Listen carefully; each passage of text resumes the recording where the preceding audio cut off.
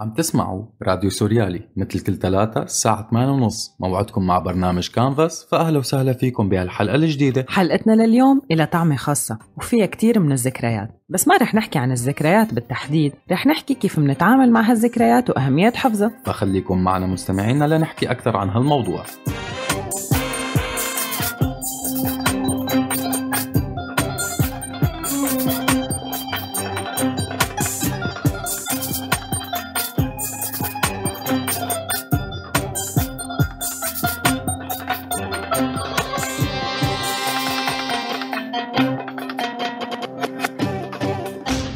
بتذكر لما كنا ننتقل مع أهلي من بيت لبيت؟ ما كانت المشكلة بنقل العفش وأغراض المطبخ بس وإنما كان في مشكلة بنقل كميات كتير كبيرة من الذكريات. على فكرة مزبوط همام لأنه نحن السوريين يعني مشهورين بالاحتفاظ بكل شيء بيحمل ذكرى. من الهدايا اللي جايتنا من أوروبا للبوسترات اللي بنشتريها من تحت الجسر لدفاتر المذكرات.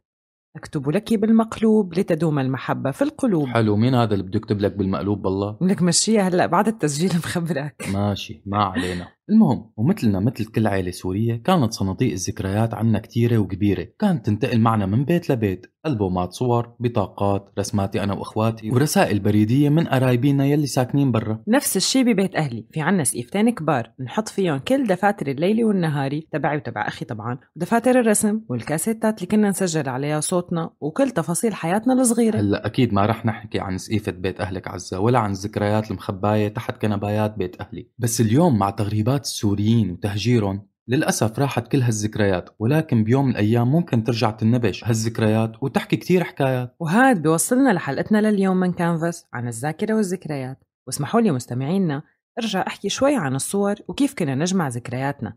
أول شي منكون كتير مرتبين ومنحط كل شي بترتيب معين وكل شي لحال بس مع الوقت بتتحول الذكريات لتنحط بكيس نايلون أو بصناديق مو معروف شو في بقلبها. وهذا الشيء امتد لحياتنا الرقمية. المحتوى العربي على الإنترنت بيعتبر من الأضعف عالميا ودائما عبر التاريخ كنا بحاجة لناس تجي وترجع ترتب هالمحتوى. فبعد سنة 2011 طلعت تجربة كتير مهمة بهالمجال وهي التجربة يلي رح نحكي عنها اليوم بس مو هلأ بعد الغنية فخليكم معنا.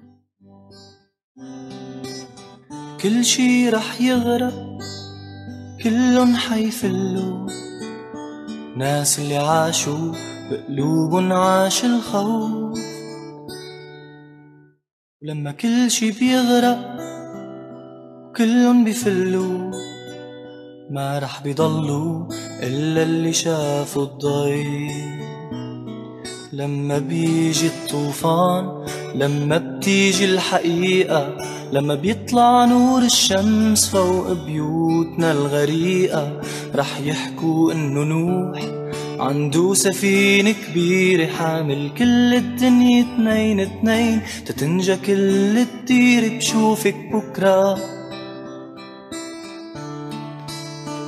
عسفينة نوح تعرفي شو عزة؟ يمكن فرقة كلنا سوا كانت من أنجح الفرق الموسيقية الشبابية بسوريا رغم إنه في شوية تشاؤم بس بالآخر في شوية تفاؤل شو بشوفك بكرة على سفينة نوح حلو لوين رايح السفينة دخلك؟ يونان ولا إيطاليا؟ يا الله شو غليظ لك بعرف رح نكفي حلقتنا ومثل ما حكينا بالبداية إنه اليوم ما رح نحكي عن الذكريات بس رح نحكي عن كيف منتعامل مع هالذكريات من خمس سنين لليوم أنتج الشعب السوري ولساته عم ينتج كمية كتير كبيرة من الإبداعات الفنية والفكرية والثقافية. من الأدب لمختلف أنواع الفنون. وكان للحرب دور كبير بأنه يكبر الوجع وتكثر طرق التعبير عنه. فمع الأزمات والحروب ومع الموت والخراب والجوع الطريقة الأهم للتذكير بهذا الوجع هو من خلال الثقافة والفن. وخوفا على هالذكريات من أنه تضيع صار في محاولات بأكثر من موقع لأرشفة أحداث الثورة وأرشفة الإنتاج الفني الإبداعي للثورة. بس الفكرة الأنضج والأهم كانت بموقع الذاكرة الإبداعية للثورة السورية. هالموقع يلي بيضم اليوم أكثر من 5000 مادة وعمل عم يحاول يأرشف هي الأعمال الإبداعية اللي تم إنتاجها بالثورة من بدايتها لهاللحظة. وما بيحكي عن جانب معين من الإبداع وإنما مسلط الضوء على كل مجالات الإبداع والفن بالثورة بالإضافة إنه في قسم عن نقد إبداع الثورة. والشيء المثير للانتباه بهالموقع هو المنهجية يلي بيتبعها بالأرشفة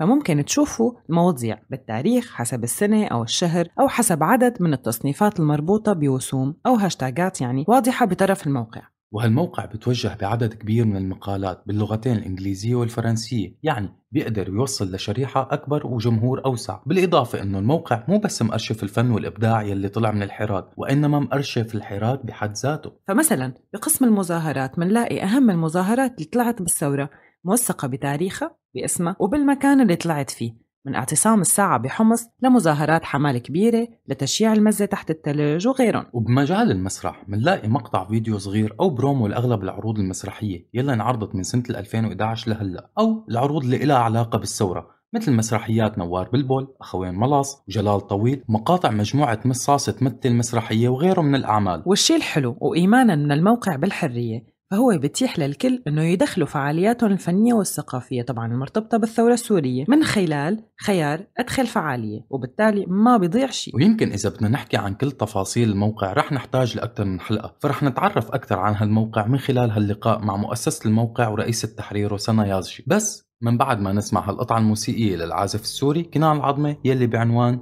جراح.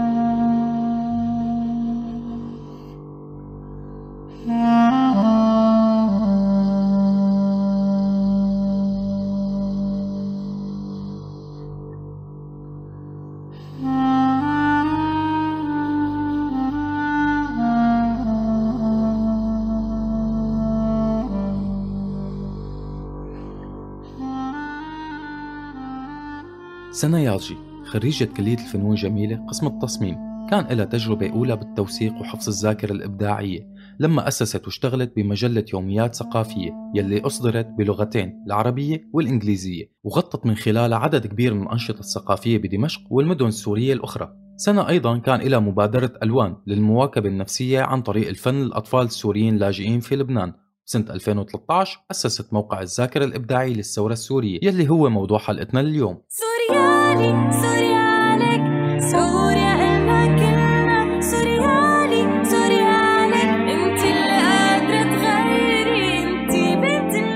وسهلا فيكي سنة ببرنامجنا كانفاس على هوا راديو سوريالي.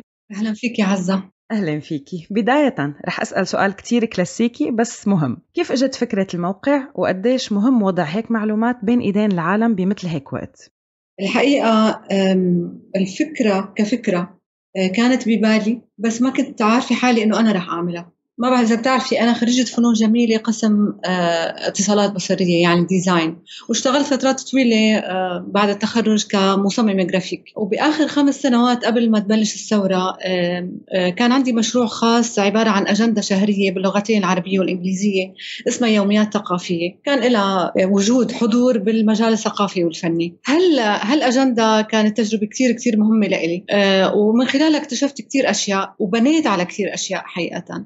رجعت استعدت قديش نحن لأنه أنا سكنت آه، فترة تقريبا عشر سنين برات سوريا جزء كبير منهم بفرنسا. وبفرنسا كمان كان يعني الناس ما فيها تتحرك بلا أجندة شهرية. آه، وحتى طبعا يعني بفرنسا لاحظت كثير أشياء آه، لها علاقة باهتمام الناس بكل أشكال هالتعبير كل أشكال الفن واهتمام الناس بمتابعة آه، آه، هيك نوع دوريات الدورية المشهورة اللي اسمها باريسكوب بفرنسا. فكان عندي فكرة دائما إنه النشاطات الفعاليات الإنتاج الفني الثقافي يكون موثق بمكان ما. آه يعني الفكرة جاية من قبل الثورة حتى. هي حقيقة موضوع يعني إنه وثق وأنشر وحرر آه، مع إنه يعني أنا آه، آه، كيف بيقولوا يعني تعديت على هالكار. يعني هذا مو كاري. لكن كنت كنت حابة كثير فكرة الأجندة. وهذا المشروع اللي صار يعني اللي عملته خلال خمس سنين قبل الثورة. هلا هلا كيف ربطت بعدين؟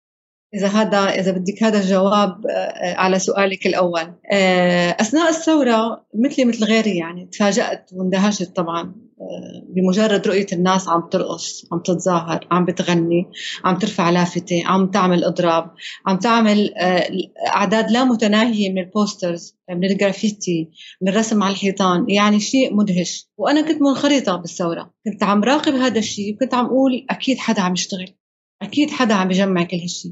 مو معقول كله هذا آه، يروح أو ما يكون موجود بمكان ما.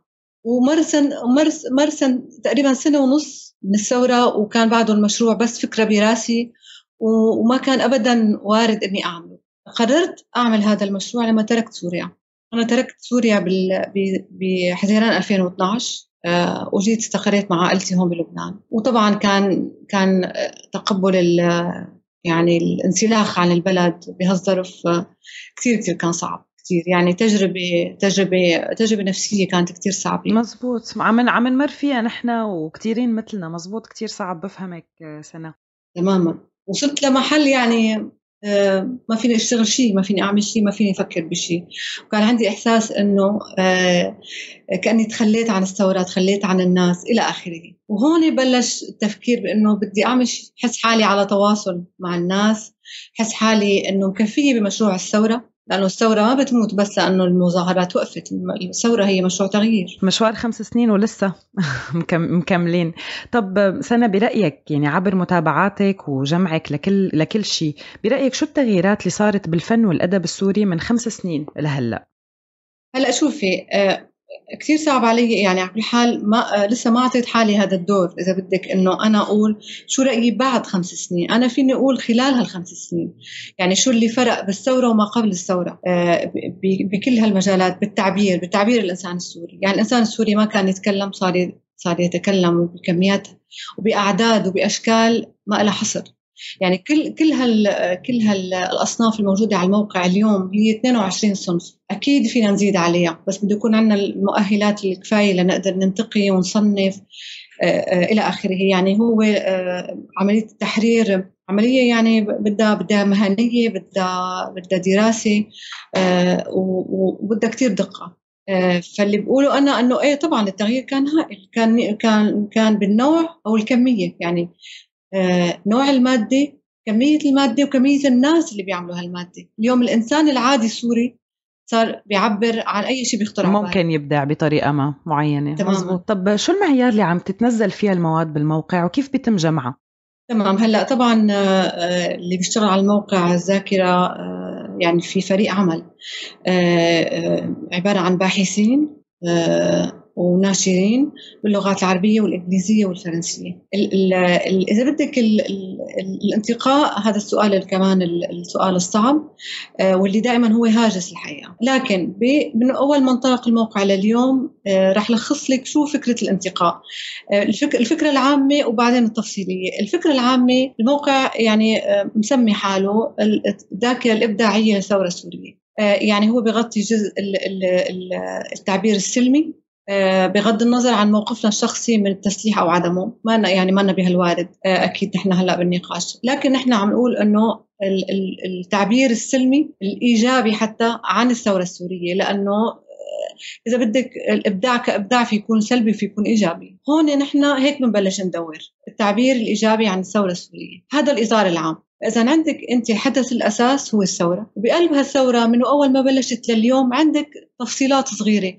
عندك مدن عندك تجمعات عندك أحداث يعني مجازر براميل لجوء إلى آخره.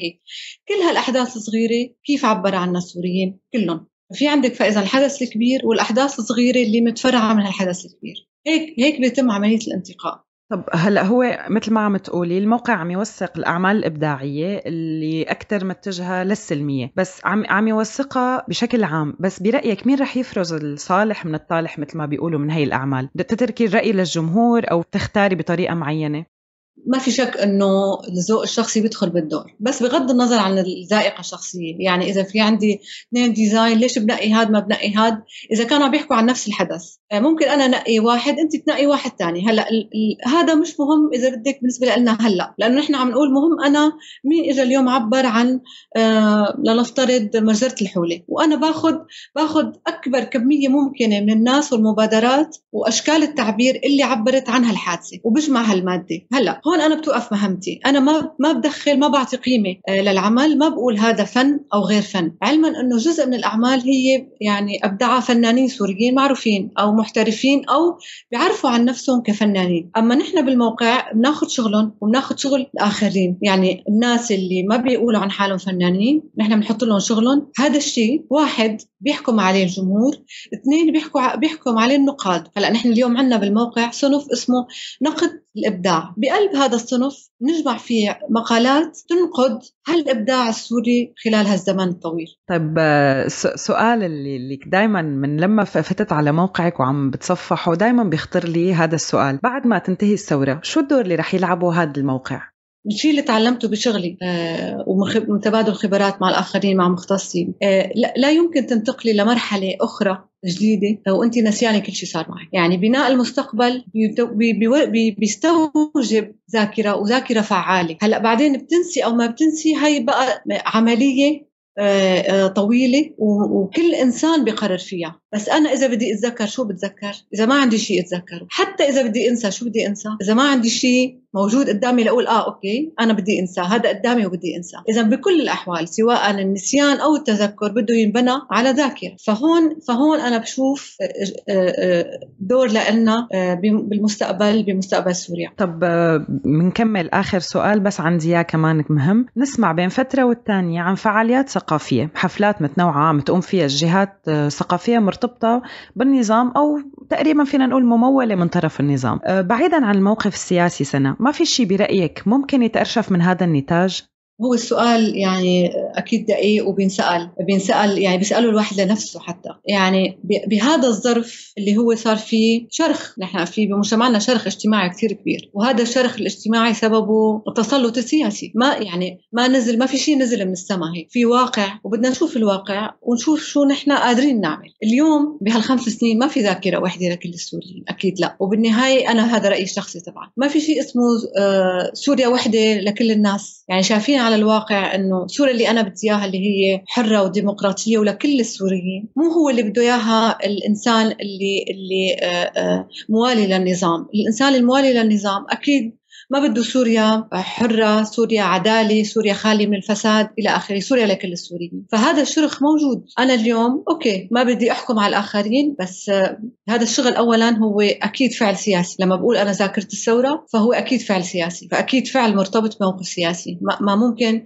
برأيي ينفصلوا عن بعضهم. فبالنتيجة إيه آه هذا الموقع بأرشف بوثق الأعمال فقط اللي لها علاقة بالثورة السورية ضد الاستبداد سواء استبداد النظام القائم أو الاستبداد الديني. يعني الناس عبرت عن كل أشكال الاستبداد مثل ما نحن كل كلنا سوريين بنعرف هالشيء بس بعد وقت يعني العالم ما بيعرفوا ونحن يمكن بعد وقت بننسى أه بدي أشكرك كثير سنة على وجودك معنا اليوم ببرنامجنا كانفاس على هوا راديو سوريالي وبنرجع بنلتقى أه إن شاء الله بوقتها بيكون خالص كل شيء ورجعنا كلياتنا على سوريا. شاء الله. شكرا لك عزة وشكرا لراديو سوريالي. وابقى قولي لي وقت تطلع الحلقة. أكيد. okay عزة. أهلا وسهلا. شكرا. سلام. يا هلا. إلى اللقاء. بدنا نعبي الزنزانات وبدنا نملي المعتقلات وبدنا نفضي الروسية كرمال الام الاسدية بدنا نعبي الزنزانات زنزانات زنزانات إحنا جنودك يا بشار على صباطك نحن كبار لعيونك من هد الدار انت الديمقراطية مطرح ما بتمشي وبتدوس إحنا بنرجع لك من بوس رح نفعص لك كلمة سوس مثل وحوش البرية بدنا نعبي الزنزانات وبدنا نملي المعتقلات وبدنا نفضي الروسية كرمال الام الاسدية نحن سودك لا تهتم بدنا نعبي سلاح دم الشغلة ابدا مو بالكم نحن عنا النوعية بلا حرية بلا بطيخ. مؤامرة جاية من المريخ. ما عنا هندوس وسيخ ولا عنا زردشتية بما إنه موضوع حلقتنا لليوم له علاقة بالذكريات فحبينا نتذكر معكم هالغنية لفرقة أبطال موسكو الأقوياء يلي فكروها جماعة النظام أول ما نزلت إنه هالغنية مؤيدة وصاروا يحطوها بسياراتهم الكيا ريو المفيمة. هلأ بس بعد ما اكتشفوا الحقيقة بتخيل مثل اللي صار فيهم مثل اللي أكل 60 كف غدر. تماما همام وبتخيل كمان إنه صار وقت قصصنا وخبرياتنا لليوم. مزبوط. تفضلي يا ستي. ذكريات نساء. هو اسم معرض للفنانة السورية بيسان الشريف. بيوثق قصص وذكريات بعض النساء السوريات والفلسطينيات السوريات أو النساء المغيبات بالعالم العربي وبأوروبا بشكل عام. من خلال صور ومقاطع فيديو وتسجيلات صوتية تم افتتاح المعرض بباريس 11 الشهر ومستمر لغاية 28 شباط. أعلنت الممثلة القديرة يارا صبري أنها بدأت التحضير لعمل مسرحي جديد بعنوان تحت السما من تأليف فادية دلة وإخراج ماهر صليبي. وهو عمل بيحكي عن أم سورية فقدت أولادها أثناء الحرب. الشاعرة والزميلة أماني عبدو معدة ومقدمة ببرنامج من سيرة لسيرة على هوا راديو سوريالي. رح تحيي أمسية شعرية ضمن فعالية فينا الخير ب 22 الشهر الجاري الساعة 5 المساء بمجمع النقابات المهنية بإربد بالأردن. نتمنى لك كل التوفيق أماني. حلم. عرض مسرحي من تأليف وإخراج ساري مصطفى وتمثيل عمر جباعي وكمان ساري مصطفى. رح ينعرض من 24 لحتى 28 شباط بمسرح بابل بالحمراء ببيروت. لمح الفنان جورج وسوف بمقابلة تلفزيونية معه أنه كان بصدد إلغاء حفلته بمناسبة عيد الحب والسبب بيرجع لوفاة والدة بشار الأسد. ولكنه تراجع عن هالقرار المصيري من بعد صدور التوجيهات من القيادة الحكيمة بالغناء بهالمناسبة المجيدة. وبآخر حلقتنا اليوم مستمعينا بدنا نقول أنه كمان راديو سوريالي اشتغل خلال السنين الماضية من بدء تأسيسه على محاولات متفرقة لترتيب هالذكريات والاحتفاظ فيها ولكن بطريقة مسموعة. فمعظم البرامج كان عندها هم ومحاولة للأرشفة مثل حكواتي سوريالي الشهير وبرنامج فتوش وبرنامج أيام اللولو. أما برنامج بلا تذكرة سفر فهو وثيقة للتاريخ وتجارب السوريين يلي عم يمروا فيها اليوم من هجرة للجوء وصولا للحياة الجديدة يلي عم يبلشوا فيها. ولهون منكون وصلنا لآخر حلقتنا لليوم. نتمنى أنه نكون طرحنا أسئلة جديدة وقدمنا شي جديد. وبنتمنى كمان أنه تسمعونا كمان بحلقة جديدة من برنامج كانفاس أكيد, أكيد. هوا سوريالي. مثل هالوقت الأسبوع الجاي.